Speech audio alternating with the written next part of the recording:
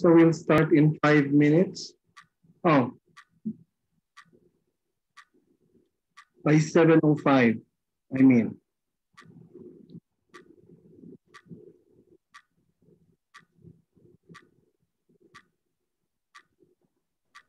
Paabutin pa natin, Romy, ng 100.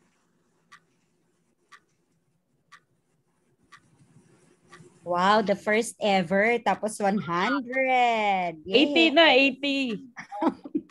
Uy, in-invite ko yung mga IM namin sa Medical City. Sabi ko, breakthrough ito. Baka nandito sila. Check attendance mo. Kaya hanapin ko sila. Kasi first ito na mapag-usapan. Kaya exciting. Hi, Rach. Okay to eh. Okay tong... At, Hello, Lai. Hello, Eileen. Uy, Ah, Jen! Eileen, May libre daw galing sa cafe. Fun! Put on your videos, guys. Kaya nga, para magkita naman tayo. Yes, kakauwi ko lang, no? Hi. Ah, May libre daw galing sa pala ano, rice. May durian pie daw. Uy, pahingi, B. Sabi ni Romy, sabihin mo sa kanyang sa speaker. Okay. Romy, yung durian ko pa. Once lang yung ko nakatilaw, ano. Yun. Padala sa Manila. Like, Okay. Kasi eh, plano. Kaya nga, balik tayo doon, di ba? Kumain tayo ng durian. na. Tapos I will start na. Ah, na mamaya ha. Okay. Sige na, off ko na. So let's Romy, start. ha? Yes, let's start. Good evening, everybody. So,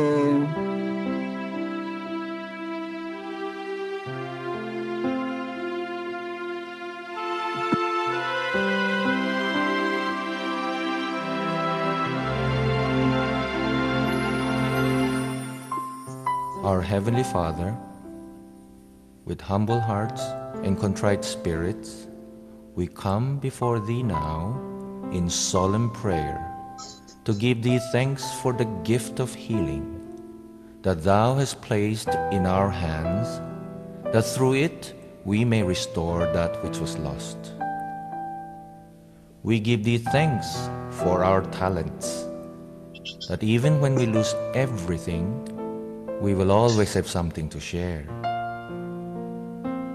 We give thee thanks for our differences, that through them our existence may become exciting and filled with color. We give thee thanks for our weaknesses, that through them we may be humbled. We give thee thanks for bringing to our awareness the weaknesses of our brothers, that by knowing we may become better friends to them. We ask thee now, dear Father, to help us use our abilities to build and strengthen one another. We ask thee to help us use our intellects not for our own aggrandizement, but to give praise to those who are worthy of praise. We ask thee to replace our pride with an appreciating eye that we may recognize the worth of others. We ask thee to teach us how to be mindful of our calling, which is sometimes to cure, most of the time to alleviate, but always to give comfort. Lastly, help us become worthy to be called instruments of thine healing power. In the name of Jesus Christ, amen.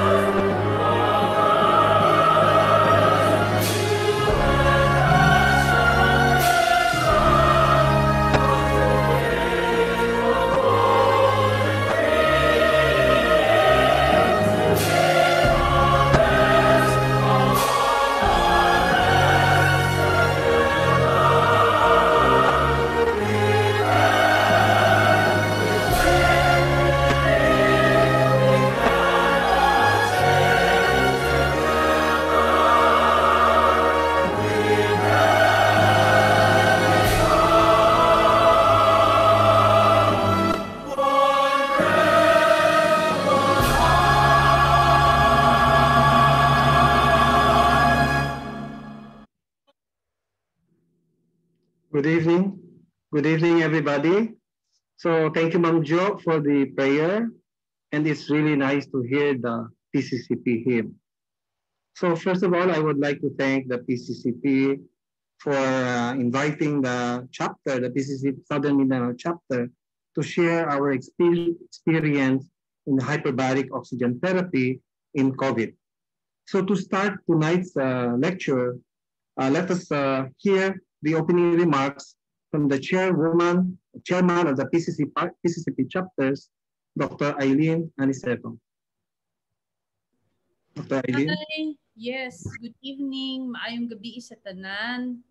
Um, welcome to the first ever chapter slash PCCP initiated CME activity. A couple of months ago, um, under Dr. Greg, o nga pala, I'd like to acknowledge the president of the PCCP, Dr. Greg Ocampo is here, and uh, chairman of the CME, Dr. Lai Garcia is also here. So it's a collaboration between the CME and the chapters that we initiate uh, CME activities and advocacy activities from the chapter mismo. And then we'll just help disseminate it so that it has a nationwide reach.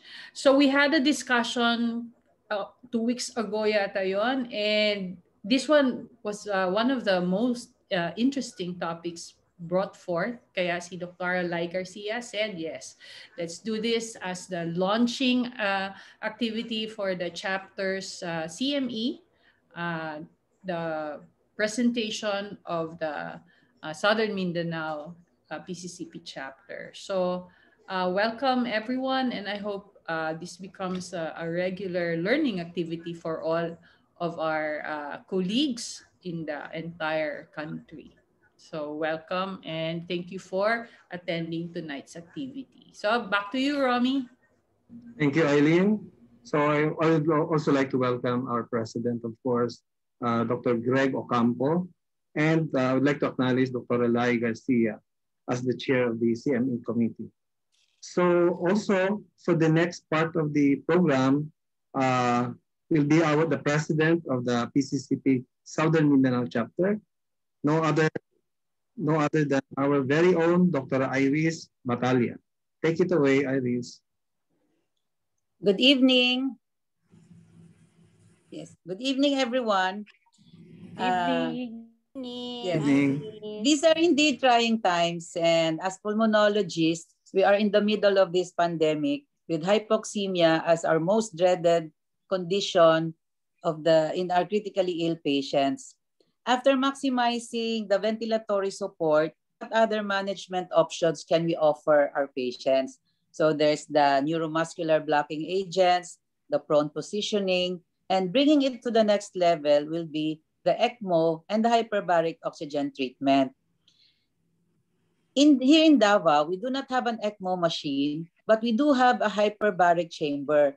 As you know, deep sea diving is a part of our tourism industry here in the south, and the hyperbaric chamber is intended for divers who develop the decompression sickness. So, kesa masayang nga naman yung machine, hindi siya nagagamit. So, we decided to make the most of what we have here in Davao. So, tonight's lecture is about our experience using the hyperbaric oxygen treatment in our severely ill COVID-19 patients. So, uh, welcome and thank you for your attendance tonight. Thank you, Iris. Uh, thank you very much. Okay, I can I would like to share my screen on Joe. Just a little uh, short history of hyperbaric so that we will I will place you will be on the same page.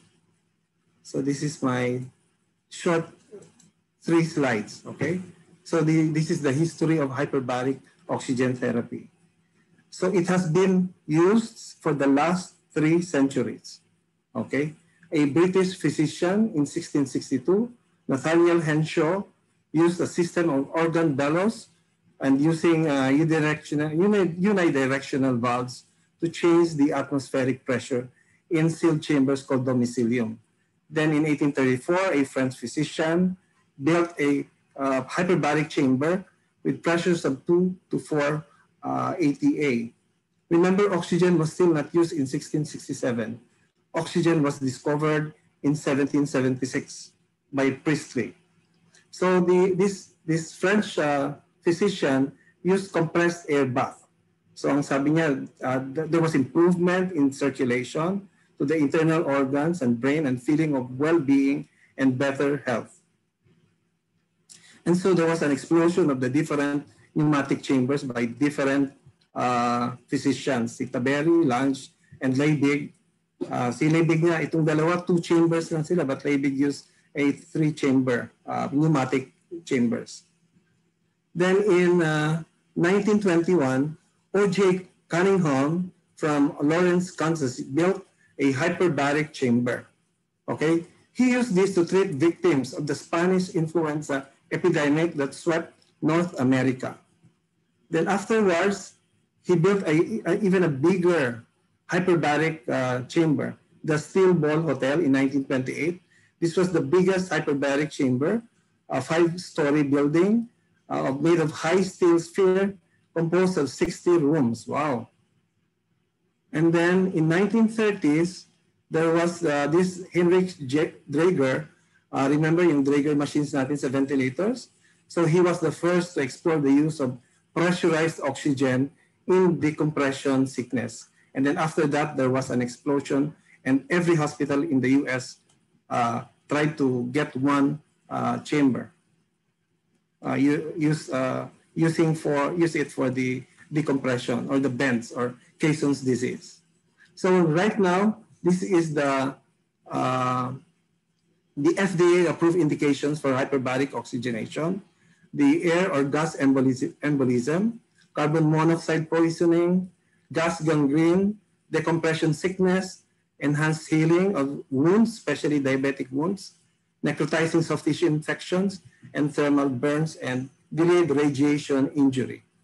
So just uh, FYI to everybody. No? So ito na yung mga uh, hyperbaric chambers now in use all over the world. So without much ado, our speaker uh, is, uh, had, a, had his medical degree, uh, completed his medical degree at DMSF, the Davao Medical School Foundation. He's a junior consultant of the Southern Philippines Medical Center, and he's a diplomate of the Philippine Board of Emergency Medicine. Uh, let's welcome Dr. Arthur Salvador.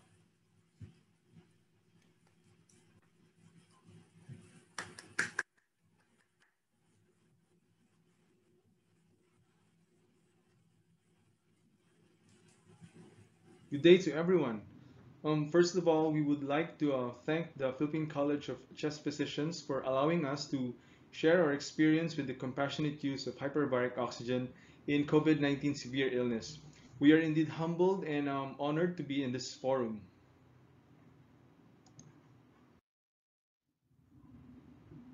So the objective, uh, the objectives for this uh, um, forum would be to elucidate the role of hyperbaric uh, oxygen in COVID-19 and to share the experience of um, SPMC in the use of hyperbaric oxygen um, in patients with severe COVID-19 pneumonia.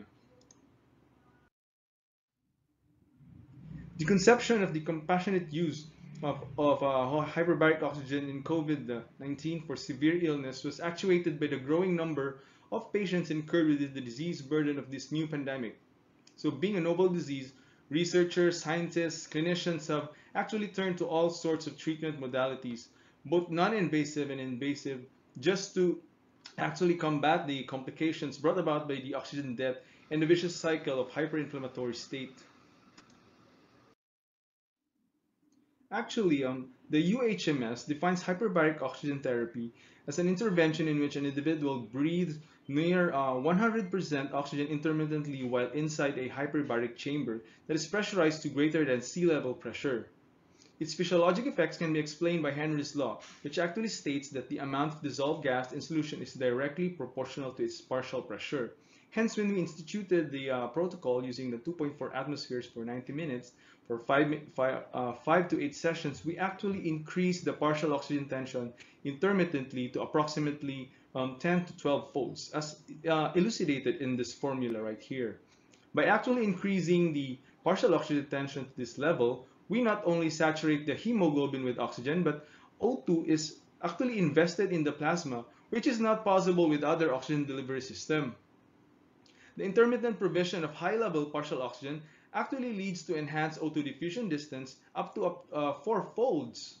And this is also the reason why hyperbaric is used in patients with delayed wound healing due to macrovascular and microvascular obstruction, such as in diabetic foot, um, uh, PAOD, where perfusion to the affected area is actually compromised.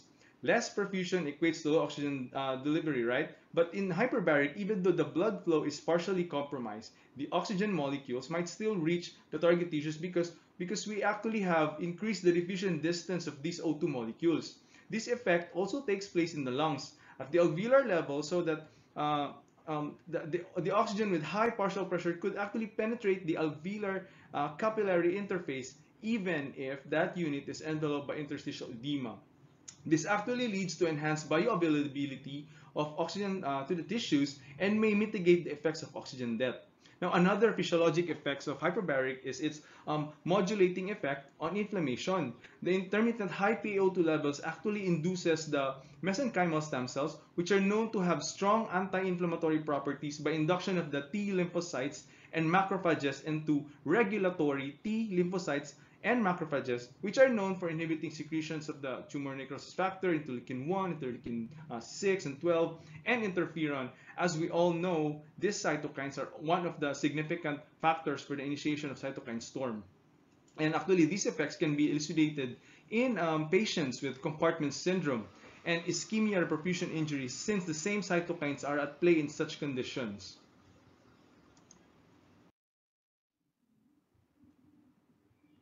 So considering the physiologic effects of hyperbaric, when, when we then aim to describe the efficacy and safety of hyperbaric oxygen therapy, specifically, we'll be able to describe the demographic and clinical profile of the patients. And we would like to also to describe the associated um, comorbid conditions. And lastly, to determine the average level of dyspnea scale, uh, the respiratory rate, the ROX index, the uh, PA, uh, PF ratio, O2 saturation, and uh, selected biomarkers. It is already established that COVID-19 pneumonia manifests as a severe hypoxemia often associated with near normal compliance of the respiratory system. Hence, uh, the type L and the type H phenotypes were actually described. And uh, as I think we all know for a fact that type L is characterized as low elastance, high compliance, low ventilation to perfusion ratio, low lung weight, and low recruitability with the hypoxemia due to vasoplegia. Now, the type H, again, as we all know, type H is the typical ERD characterized by high, elast uh, high elastance, low compliance, high right to left shunt, high lung weight, and high recruitability. So it is in this context that this study is undertaken to improve oxygen delivery using hyperbaric oxygen therapy. It is no surprise that in the previous pandemic, hyperbaric oxygen using air has been used in the Spanish pandemic and that was back in 19, uh, 1918. In the Philippines, it may not be a widely available resource in other areas, um, thus, this study not only will elucidate the alternative course of action for, uh, I mean, course of action for patients, but also enlightens the scientific community about the deferred use of mechanical ventilation. So the first documented use of hyperbaric oxygen in COVID-19 was in China. It was Zhong et al. Uh, this was around March 2020. He detailed the effects of hyperbaric oxygen on hypoxic patients with severe pneumonia they actually included five RT-PCR positively confirmed patients with age ranging from 24 to 69 years old. They instituted a treatment protocol of two atmospheres for 90 minutes for five sessions, and then they observed that these patients had an immediate uh, re uh, resolution in dyspnea in chamber and after each session. If you actually look at the graph, an improvement of oxygen saturation level can be observed after each treatment session. So they conduct, uh, they actually concluded that hyperbaric oxygen therapy can effectively correct systemic hypoxia and improve immune uh, function. So there was uh, um, another study that was done at New York Langone University by Gorenstein et al. That uh, this was still uh, last 2020, where they actually detailed the effects of hyperbaric oxygen therapy in COVID-19 patients with respiratory distress they actually uh, had two arms in their study, the 20 HBOT uh, treated patients versus the 60 non-HBOT treated propensity match control patients. So they used the same protocol, the uh, uh, two atmospheres for 90 minutes for five sessions, and then um, they found out that 18 over 20 of these hyperbaric treated patients were discharged where none of them were intubated. So two of them were intubated and died though. On the other hand, 44 over 60 patients among the propensity match uh, controls were discharged with 5 requiring intubation, 3 were still hospitalized, 2 were intubated among the 3, and uh, they had 13 mortalities. So actually, the UHMS uh, released a position statement last August 4 uh, 2020 and they stated they stated there that there was actually an instantaneous alleviation of dyspnea effective delivery of oxygen to tissues even in bilateral pneumonia with VQ mismatch and that pot uh, HBOT has uh, potent anti-inflammatory stimuli it mitigated oxygen debt uh, it reduced um, the D-dimer levels and they actually stated also that HBOT uh, may have a strong physiologic and biologic basis no, for COVID.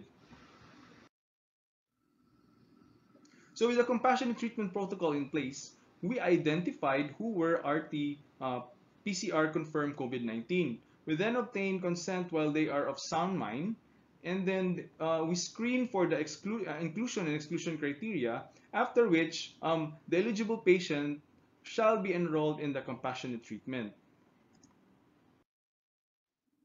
So as for the inclusion, we included patients who are uh, 19 to 70 years of age, positively confirmed COVID-19 by RT-PCR, oxygen saturation less than 93% at a non-rebreather mask, 15 liters per minute, with respiratory rate of greater than 30 cycles per minute, at, with NRM at 15 liters per minute, and um, PF ratio of uh, less than 200 by Berlin uh, criteria.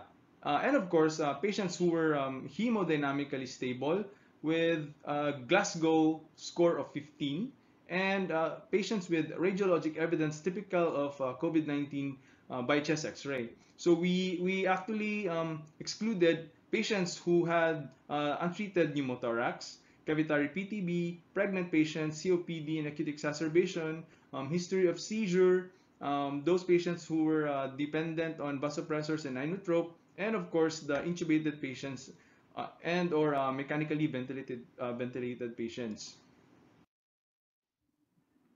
So after the screening and enrollment, the ward or ICU will coordinate with the hyperbaric unit. The IM resident would actually um, evaluate the patients before transport is carried out to ensure that the patient is relatively stable as in the inclusion criteria and can tolerate the transport procedure. This shall be communicated with the hyperbaric physician and the pulmonary consultant for approval of transport as well. So once the patient is cleared, the dedicated ambulance team for COVID with complete PPE on board, portable high flow nasal cannula and negative pressure system shall ambulate the patient to the hyperbaric unit, traversing of a, uh, the, here in SPMC, um, it's about 245 meters. No more than 10 minutes transport time, of course. When the patients arrive, um, they are immediately hooked to the hyperbaric unit's O2 supply. Uh, we're still we're still talking about the um, uh, sea level pressure here. Um, of course, while the team conducts the actual endorsements via staking as well as the uh, primary survey by the hyperbaric physicians.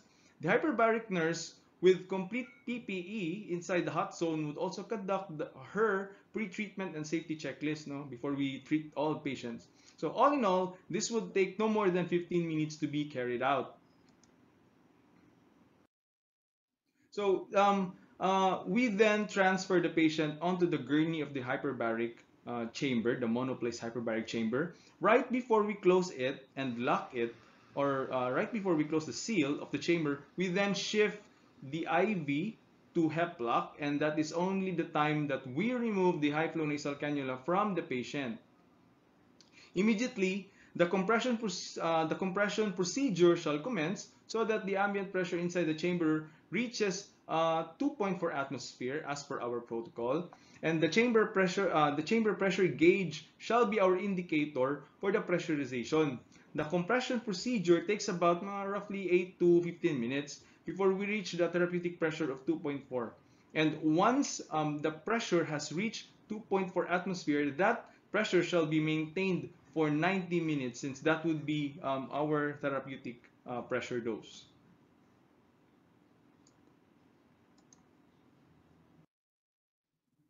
So during the treatment, uh, during the treatment session, while the patient is inside the chamber, we noted that they are they were actually um, comfortable without any breathing apparatus, no, attached to them. So so much so that they would just fall asleep or yeah, watch their uh, favorite movie comfortably. As you can see in the pictures here, we have two patients actually um, giving us the OK sign and the thumbs up sign for um, you know uh, approval of the treatment. So the hyperbaric nurse shall be uh, right beside the monoplace hyperbaric chamber with the patient inside. As you can see, that's that's also in the photo. And the hyperbaric physician shall be on standby in the unit supervising the conduct of the treatment. Once the 90 minutes of therapeutic compression of 2.4 atmospheres has been completed, the patient will then be decompressed, which would take around 5 to 10 minutes on his way to the ambient pressure at sea level. So just like this, what we have here.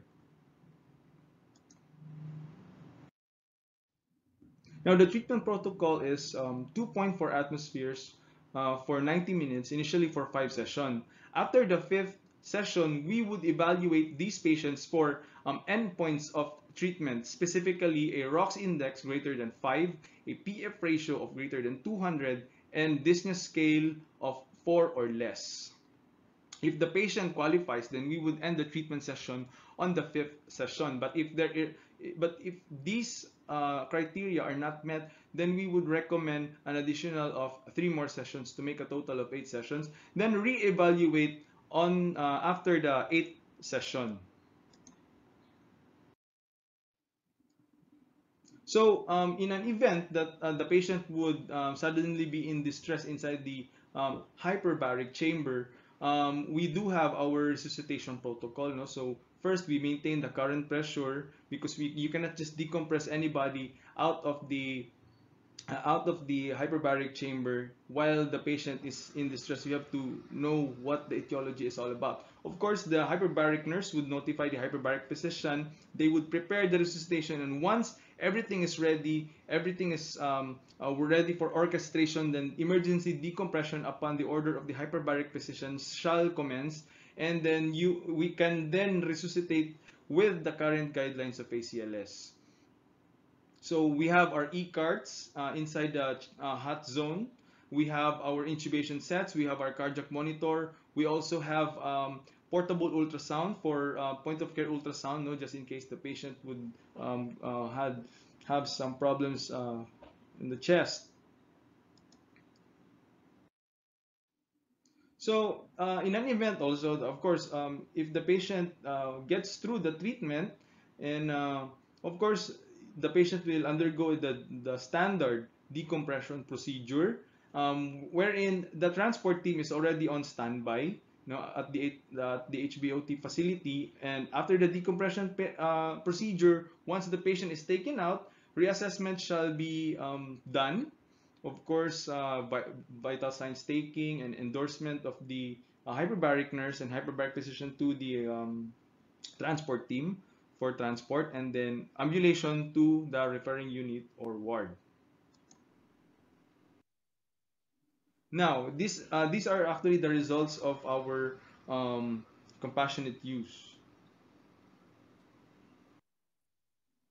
So for the demographic data, as you can see that we were able to um, accommodate uh, uh, patients who are, who had age ranging from 39 to 45 years old, at least three patients, and that would be 23.1%.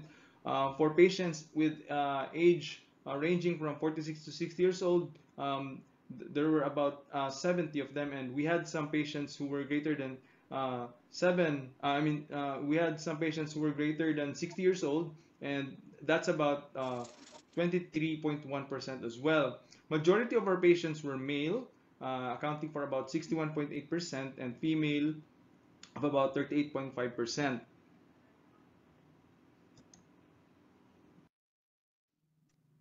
So um, for the comorbid uh, conditions of these patients, so actually we had one patient who uh, had an uh, acute kidney injury. Um, four patients who had bronchial asthma and uh, they were uh, not in acute exacerbation. We had uh, two patients who had coronary artery disease. One patient was actually diagnosed with congestive heart failure.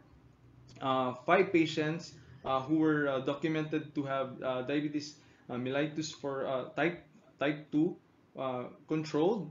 DM type 2 poorly controlled. We had three patients and we had two patients who had HCVD we had 10 patients who had hypertension and um, at least three patients had co-infection and six of these patients were actually um, obese patients.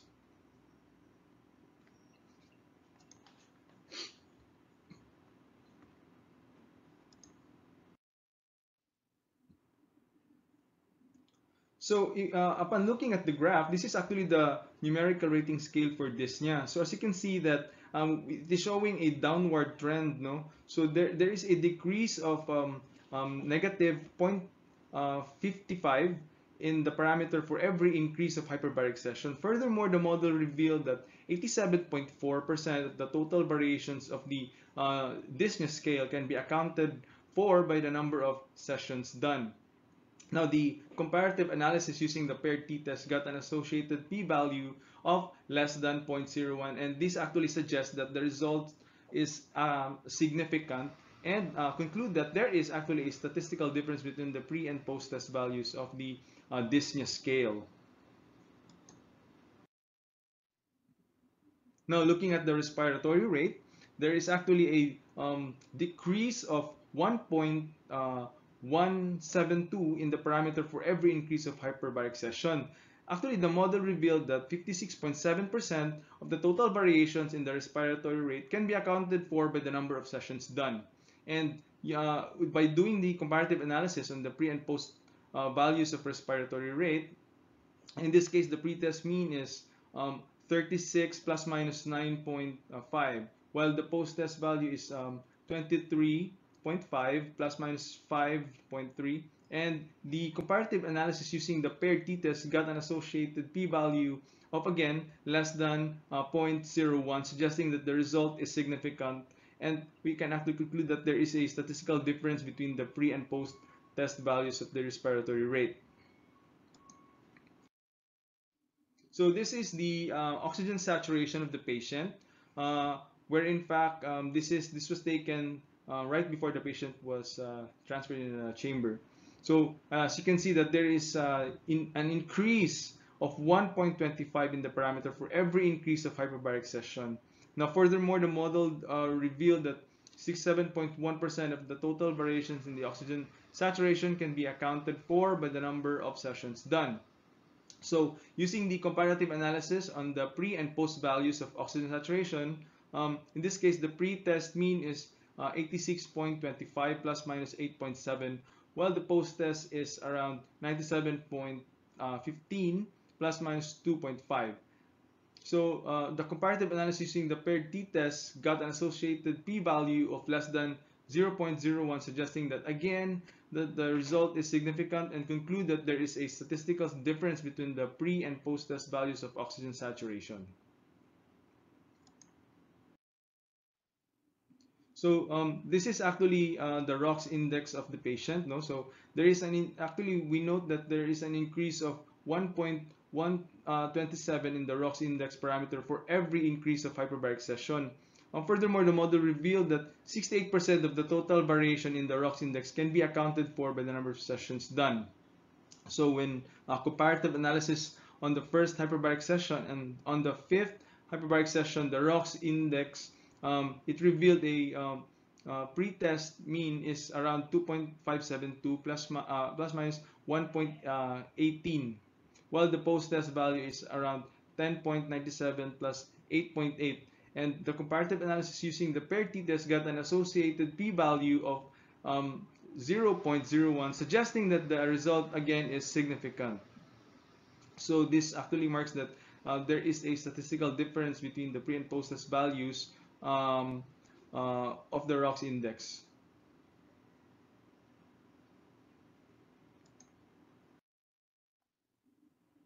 so um, this is the the graph uh, depicting depicting the trends of the uh, PF ratio. So uh, actually we can appreciate here that there is an increase of 29.4 in the PF ratio parameter for every increase of hyperbaric session and the model also reveals that 68.5% of the total variation in the PF ratio can be accounted for by the number of sessions done. The comparative analysis on the pre and post values of PF ratio was uh, done again and in this case, the pre-test mean was 52.6, while the post-test value is 289.9 uh, plus minus 279.874. Uh, uh so the comparative analysis using the paired t-test got an associated p-value of 0.001, suggesting once again that the result is uh, significant and conclude that there is a statistical difference between the pre and post-test values of the PF ratio. So this again is a graph depicting the trend for the CRP levels. As you can see that there is a decrease of uh, 0.98 uh, in the parameter for every increase of hyperbaric session. Furthermore, the model uh, revealed that 97.5% of the total variation in the CRP levels can be accounted for the number uh, of the sessions done. Now, um, using the comparative analysis um, with paired t-tests, we got an associated p-value of 0.008 suggesting that the result is significant and conclude that there is actually a statistical difference between the pre and post test values of the CRP levels. So this is uh, the graph for the LDH levels uh, showing again a decreasing trend. No, So um, actually um, you can appreciate that there is a decrease of 60.88 in the parameter for every increase of hyperbaric session. Furthermore, the model revealed that 87.6% of the total variation in LDH can be accounted for by the number of sessions done as well. So the comparative analysis using the paired t-test got an associated p-value of less than 0.01, which again suggests that the result is significant. Now for the ferritin levels, so um, the graph actually depicts that um, there is a decrease of uh, 78.97 in the parameter for every increase of hyperbaric session. The model also reveals that 84.9% of the total variation in the ferritin levels can be accounted for by the number of session done. So this is the graph uh, depicting the trend for the D-dimer levels. And uh, you may appreciate an increase of 0.024 in the parameter for every increase of hyperbaric session. The model also reveals that 17.8% of the total variation in the D-dimer levels can be accounted for by the number of sessions done. So comparative analysis using paired t-test got an associated p-value of 0.465, suggesting that the result is not significant and um, we can actually conclude that there is no statistical difference between the pre and post-test um, values of the D-dimer levels. So this is the graph uh, actually depicting the, the trend for the fibrinogen levels. So um, there is actually a decrease of, of a 0.439 in the uh, parameter for every increase of hyperbaric session. Uh, furthermore, the model reveals that 91.7% um, of the total variations in the fibrinogen level can be accounted for by the um, number of hyperbaric sessions done. Now, with the comparative analysis using the paired t-test, um, we got an associated p-value of 0.022, uh, suggesting that the result is significant, and we can actually conclude that there is a statistical difference between the pre and post-test values of fibrinogen levels. So lastly, um, the procalcitonin levels, um, uh, there is actually a decrease of 0.06 in the parameter for every increase of hyperbaric sessions. And the model also reveals that 77.6% of the total variations in the procalcitonin levels can be accounted for by the number of sessions done. So we again um, did a comparative analysis using the paired t-test and we got an associated p-value of 0.034 suggesting that the result is significant and um, can conclude that there is actually a statistical difference between the pre and post test values of procalcitonin levels. So um, in summary, um, all patients survived. Uh, none of the patients were mechanically ventilated. Um, 85 uh, that's 11 over 13 of patients, that's 85%, had a ROX index of greater than 5 after the end of their treatment regimen. 10 out of 13 patients, that's about 77%, had a PF ratio of greater than 200 after their treatment regimen, and all of the patients had an improvement of their dyspnea based on their dyspnea scale. So we actually, we the authors actually recommend the other institution to initiate compassionate use of hyperbaric oxygen therapy in COVID-19 severe illness together with the current guidelines as we are still accumulating more patients and clinical experience to arrive in a consistent and a better outcomes as we have described in this study. So this is just uh, a brief documentation of uh, the patients that we've treated. As you can see that they are actually quite comfortable inside the chamber without the um, oxygen apparatus, without IV. You know, so um, we are happy for them. And uh,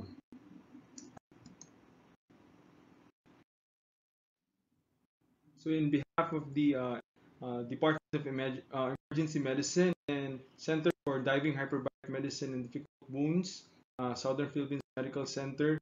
Uh, I would like to thank the PCCP for actually having us in this forum. Thank you very much.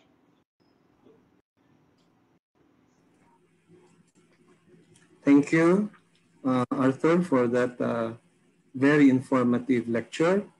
Uh, I would also like to recognize the uh, the chair of the hyperbaric uh, medicine of SPMC, Dr. Jeffrey Ramos, but uh, let me introduce him first.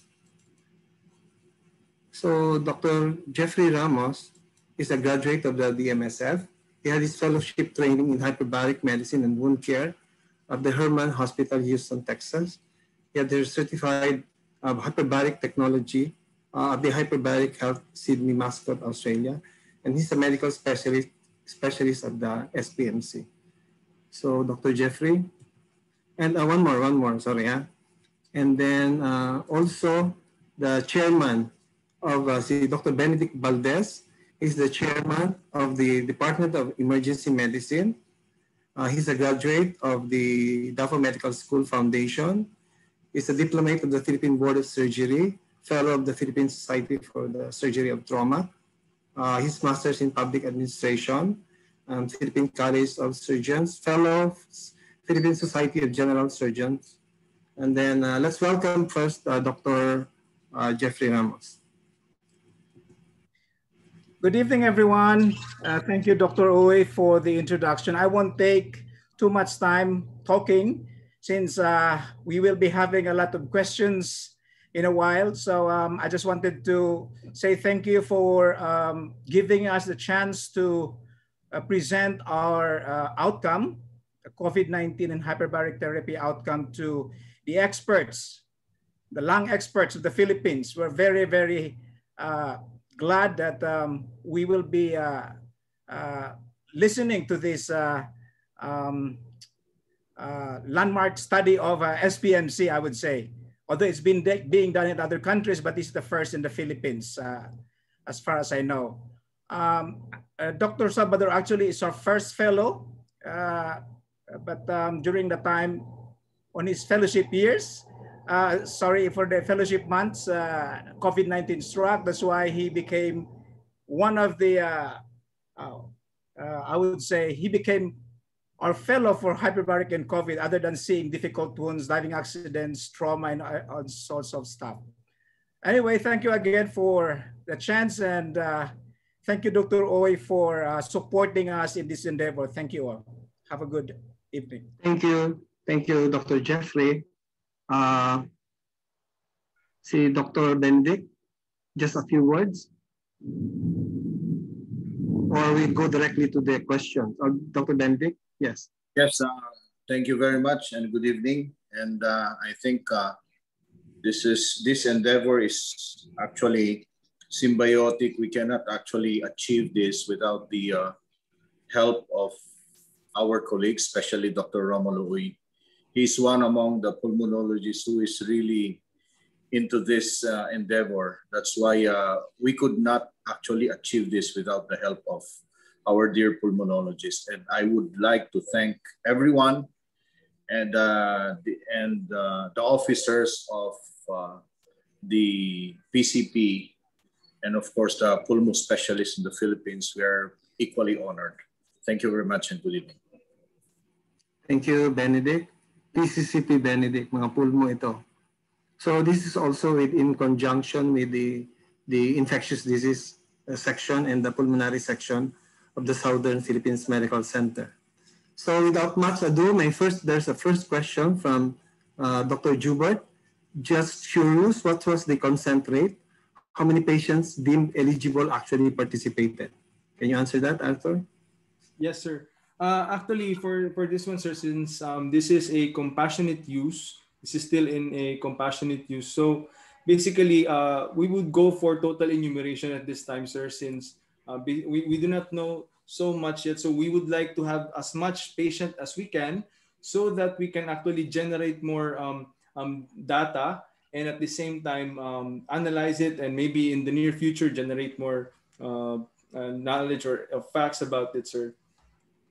So right now we only have uh, we we have only treated 13 patients, sir, because um, uh, due to the challenges in the resources, like uh, the other year, we still uh, safety is an issue. That's why um, we, as much as possible, uh, Dr. Romulo would screen the patient before the treatment. No, so we cannot just um, get um, COVID severe patients without proper evaluation. So we only had 13 patients. So actually, we bought uh, the emergency medicine bought a portable high flow nasal cannula so that we can bring kasi yung hyperbaric uh, oxygen uh, device or the, the machine is like around five minutes away from the ICU. Mabuti kung katabi lang natin yan, we can just transfer the patient immediately.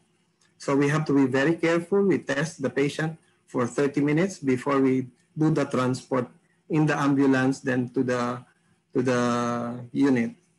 And then of course there's sterilization of the unit before and after the use of the hyperbaric machine. So next question on the average, how many hyperbaric sessions uh, before hypoxemia resolves? Dr. Arthur. Come, come, come again, sir. Uh, nag-choppy, sir. Sorry po. So how many sessions in the on the average? Di ba ilan yung nag ilan na you had like many sessions and then you had like more like sir. sessions in some? Yes, sir. Yes, sir. Uh, uh, on, on the average po, uh, generally we had we had 10 patients who actually responded already, who already met the treatment the end treatment criteria at the fifth session. So there were unfortunately we had three patients who did not actually um, met our end treatment criteria. So we had to add uh, three more sessions.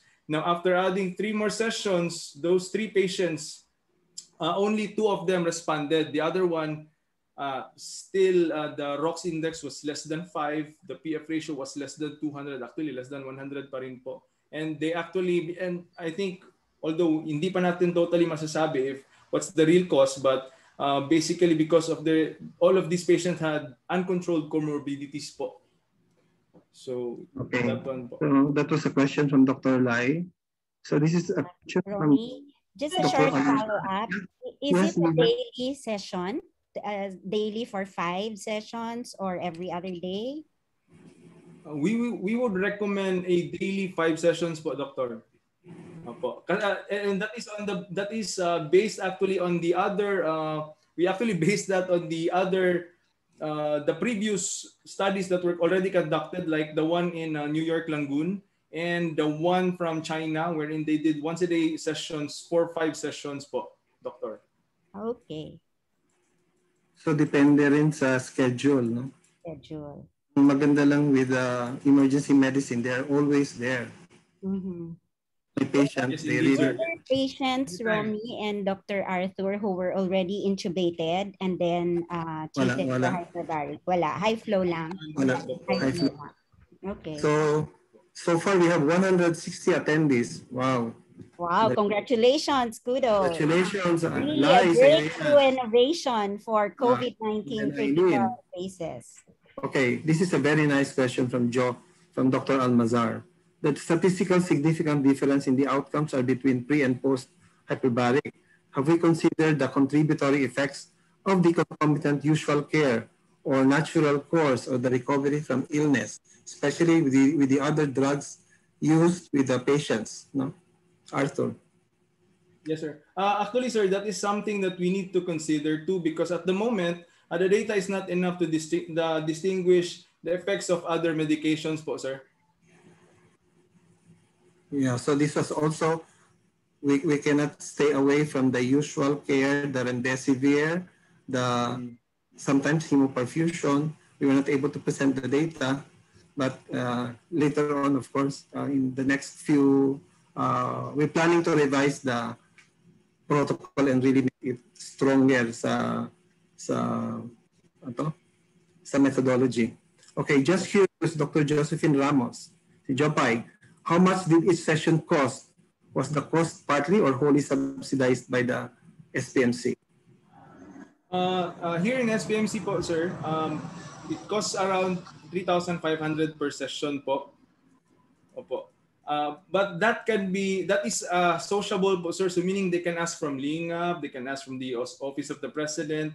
And most of our patients of that we catered, actually po, sir, wala po sila nabayaran kasi po of all the social services. Uh, however, some patients paid kasi po gusto nila, ayaw po kasi nila ng hassle, sir. So uh, they would just rather pay it kasi naman three times, three, 3,500 times five sessions, I, they can pretty much do it. So it, that's about it, sir. Thank you. Uh, another question from Lai. What's the most common sequelae or complaints during and after the hyperbaric session? May I share my slide po, sir? Yeah, go, go ahead. I, I actually have a slide here uh, actually showing the adverse e- effects of uh, hyperbaric treatment po. So uh, basically, these are the expected complications when you do hyperbaric treatment, no? So um, fortunately for for SPMC, uh, our, in our experience, we did not actually experience this with our patients, and I think we can attribute that to a very sound uh, screening process and uh, by uh, Dr. Uy, no, with with the residents of internal medicine as well. So we, we are very thankful for that. So we did not experience any of this among the patients po.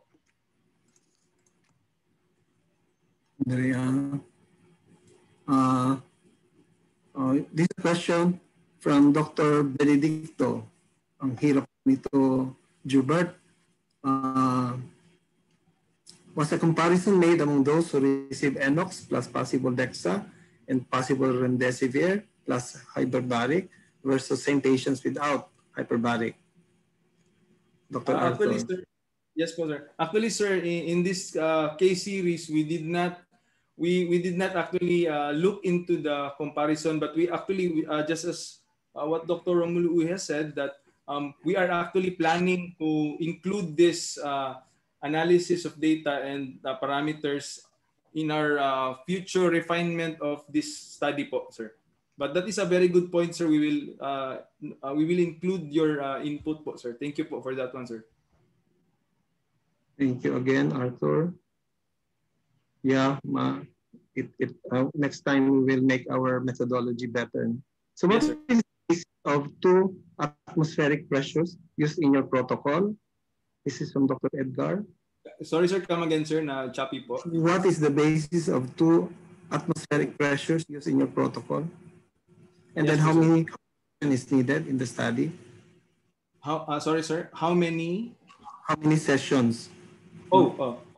Uh, the basis for the two atmospheres po. eh, actually, you can you can already appreciate based on the uh, graduated facts that there was there's already a physiologic effect once you expose uh, tissues at 1.5 atmospheres, no. But then, um, since the institution that actually did this uh, treatment protocol or compassionate use started with uh, two atmospheres, the one in New York actually started with two atmospheres. So we uh, actually we thought initially that we would go for two atmospheres as well. But then, um, since upon our assessment with our oxygen plant in our uh, institution that the, the, the oxygen purity here will not reach 100%. So uh, uh, actually accounting that and including that, we actually went uh, further to 2.4 atmosphere just to actually um, uh, counter that uh, issue. So, but it's still a safe dose sir.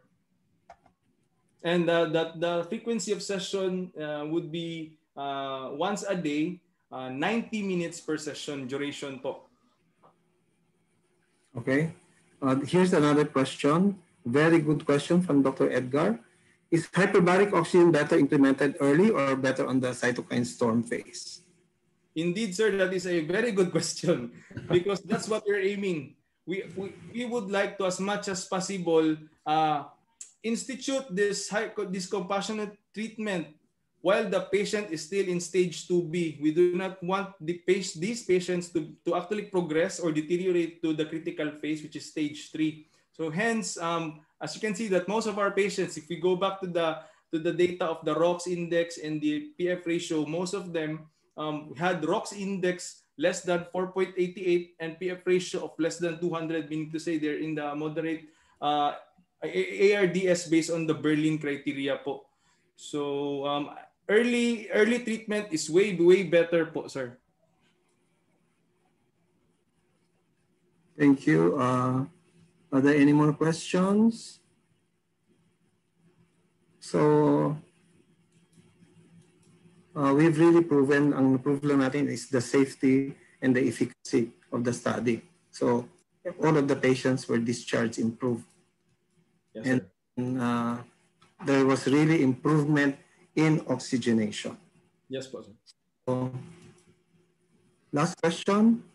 Wala na?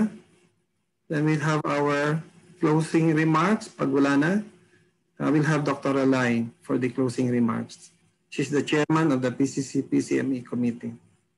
Okay, again, thank you very much to our speaker, Dr. Salvador, and of course, our a team of the hyperbaric oxygen therapy, Dr. Uh, Benedict and Dr. Ramos, if I'm not mistaken, and Dr. Uy and Dr. Iris and the whole chapter, Southern Mindanao chapter, for organizing this one-of-a-kind, first ever, very innovative treatment of the hyperbaric oxygen therapy for severe and uh, critical COVID cases. So indeed, it's a very promising therapy. That's why I think we have more than 160 uh, delegates tonight. So it's for the next chapters to beat this number.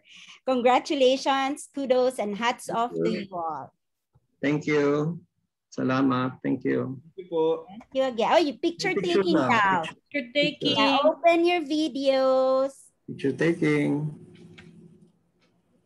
Hello, everyone. Yan, no? Pag picture taking, bukas lahat ng video nila. Talaga naman.